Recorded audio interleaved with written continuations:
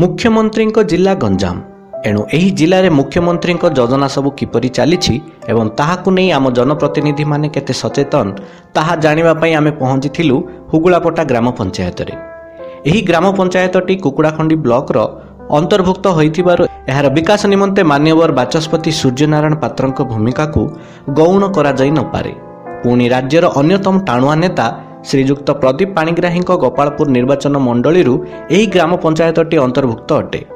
ଏହିସବୁ ମଧ୍ୟରେ ଆମେ ସାକ୍ଷାତ କରିଥିଲୁ ଜଣେ ସଚେତନ ତଥା ସରକାରୀ ଯୋଜନାକୁ ଲୋକଙ୍କ ବିକାଶରେ ଶତ ପ୍ରତିଶତ ଲଗାଇବାରେ ସିଦ୍ଧହସ୍ତ ତଥା ଏଠିକାର ସରପଞ୍ଚ ପ୍ରଦୀପ କୁମାର ମଲଣା।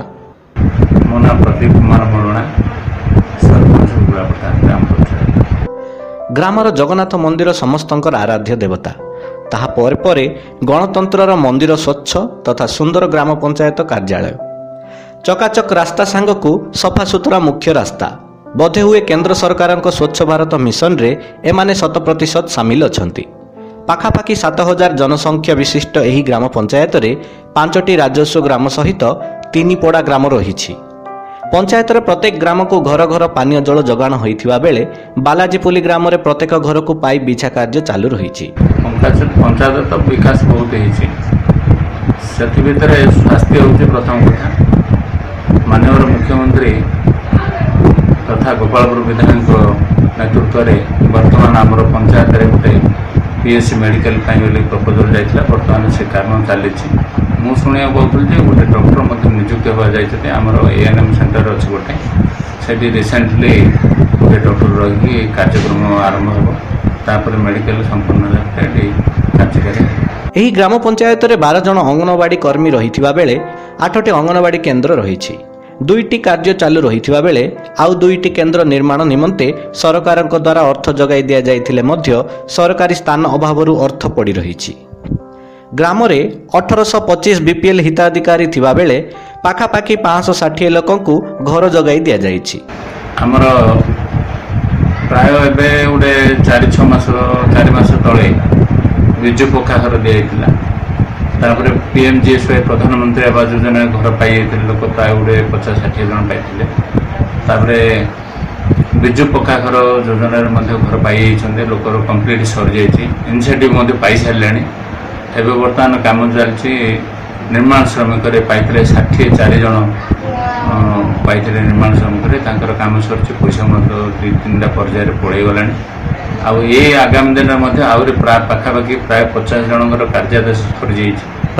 ପାନୀୟ ଜଳ ସମସ୍ୟା ତ ଆମର ପଞ୍ଚାୟତରେ ବହୁତ ପ୍ରକାର ସମସ୍ୟା ଥିଲା। ସବୁ ରେଭିନ୍ୟୁ ଭିଲେଜ ଗୁଡ଼ାକରେ ଆମର ପାଣି ପଞ୍ଚାୟତର ଯେଉଁ ସ୍ୱଚ୍ଛଳ ଧାରା କାର୍ଯ୍ୟକ୍ରମ ଓଡ଼ିଶା ସରକାରଙ୍କ ଯେଉଁ ଅଛି ସେ ଧାରା ଅନୁସାରେ ପ୍ରତ୍ୟେକ ଗାଁରେ ପିଇବା ପାଣିର ବ୍ୟବସ୍ଥା ଡୋର୍ ଟୁ ଡୋର୍ ବ୍ୟବସ୍ଥା ହେଇଯାଇଛି। କେବଳ ବାଲାଜୀ ବୋଲି ଗୋଟେ ଗାଁ ଅଛି ସେ ଗାଁରେ ବର୍ତ୍ତମାନ କାମ ଚାଲିଛି ଆଉ ମାସେ ଦୁଇ ମାସ ଭିତରେ ତାଙ୍କୁ ମଧ୍ୟ ପାଣି ପାଇପାରିବେ। ଗ୍ରାମରେ ସରକାରଙ୍କ ମହିଳା ସଶକ୍ତିକରଣ ଯୋଜନା ଗ୍ରୁପକୁ ଦିଆଯାଇ ପଇଁଚାଳିଶଟି ମହିଳା ଆତ୍ମସ୍ୱୟଂ ସହାୟକ ଗୋଷ୍ଠୀ ଗଠନ କରାଯାଇଛି। ସେଥିରୁ ଗୋଟିଏ ଗୋଷ୍ଠୀ ରାଜ୍ୟ ସ୍ତରରେ ପୁରସ୍କୃତ ମଧ୍ୟ ହୋଇଛନ୍ତି। ସରପଞ୍ଚଙ୍କ ଦ୍ୱାରା ଶ୍ମଶାନ ଘାଟ ଏବଂ ସେଠାରେ ସୌରଶକ୍ତି ଦ୍ୱାରା ଆଲୋକୀକରଣ ନିମନ୍ତେ ଦାବି କରାଯିବା ସହ ଏହାକୁ ସଫଳ କରିବାରେ କାର୍ଯ୍ୟକ୍ରମ ଚାଲୁ ରହିଛି। ସାତଶହରୁ ଉର୍ଦ୍ଧ୍ୱ ଗରିବଙ୍କୁ ନୂଆ ବାର୍ଦ୍ଧକ୍ୟ ବିଧବା ଆଦିକୁ ଭତ୍ତା ପ୍ରଦାନ କରାଯାଉଥିବା ବେଳେ ଅନ୍ୟ ଆବେଦନକାରୀଙ୍କୁ ଭତ୍ତା ପ୍ରଦାନ ନିମନ୍ତେ ସରକାର ସହଯୋଗ କାମନା କରାଯାଇଛି। ଏସ୍ଏଚ୍ ଗ୍ରୁପ୍ ତ ଆମର ପ୍ରାୟ ପାଖାପାଖି ଷାଠିଏଟି ଏସ୍ଏଚ୍ ଗ୍ରୁପ୍ ଆମ ପଞ୍ଚାୟତରେ ଅଛି। ସେ ପଞ୍ଚାୟତର ଏସ୍ଏଚ୍ ଗ୍ରୁପ୍ ମାନେ ମାନ୍ୟବର ମୁଖ୍ୟମନ୍ତ୍ରୀଙ୍କ ଯେଉଁ ବିକାଶ ଧାରା ଅଛି ସେ ବିକାଶ ଧାରାକୁ ବାଧ୍ୟ କରି ମହିଳାମାନଙ୍କୁ ସଶକ୍ତିକରଣ କରିବା ପାଇଁ ଯେଉଁ ମହିଳା ଏସ୍ଏଚ୍ ସଂଘ ଗଠନ କରାଯାଇଛି ସେ ସଂଘରେ ବିଭିନ୍ନ ପ୍ରକାର କାର୍ଯ୍ୟକ୍ରମ କରି ଆଜି ମହିଳାମାନେ ଆଗକୁ ଆସି ବିଭିନ୍ନ ପ୍ରକାର ସରକାରୀ ସହାୟତାର ସହାୟତା ପାଇପାରୁଛନ୍ତି। ସ୍ୱଚ୍ଛ ଭାରତ ଅଭିଯାନରେ ଆମେ ବହୁତ ଚେଷ୍ଟା କରିଛୁ ଲୋକଙ୍କୁ ସଚେତନ କରାହେଉଛି। ତାପରେ ପ୍ରଥମ କଥା ହେଲା ଟଏଲେଟ୍ ଟଏଲେଟ୍ କରିବା ପାଇଁ ସରକାରଙ୍କ ଯେଉଁ ନିଷ୍ପତ୍ତି ଅଛି ସେ ନିଷ୍ପତ୍ତି ପ୍ରକାରେ ଅଗଷ୍ଟ ପନ୍ଦର ଭିତରେ ଆମର ପଞ୍ଚାୟତର ସମ୍ପୂର୍ଣ୍ଣ ରୂପେ ଟଏଲେଟ୍ କାମ ସରିଯିବ। ଆପଣମାନେ ଦେଖୁଛନ୍ତି ଜୋରସୋରରେ ଟଏଲେଟ୍ କାମ ଚାଲିଛି। ଏହିସବୁ ମଧ୍ୟରେ ଗ୍ରାମ ପଞ୍ଚାୟତରେ ଆଉ କିଛି ସମସ୍ୟା ରହିଯାଇଥିଲେ ମଧ୍ୟ ଜନସାଧାରଣ ସହଯୋଗ ସରକାରୀ ସାହାଯ୍ୟ ଦ୍ୱାରା ଆଗାମୀ ଦିନରେ ତାହା ମଧ୍ୟ ସମାଧାନ ହେବ ବୋଲି ଆଶା ବାନ୍ଧିଛନ୍ତି ସ୍ଥାନୀୟ ସରପଞ୍ଚ।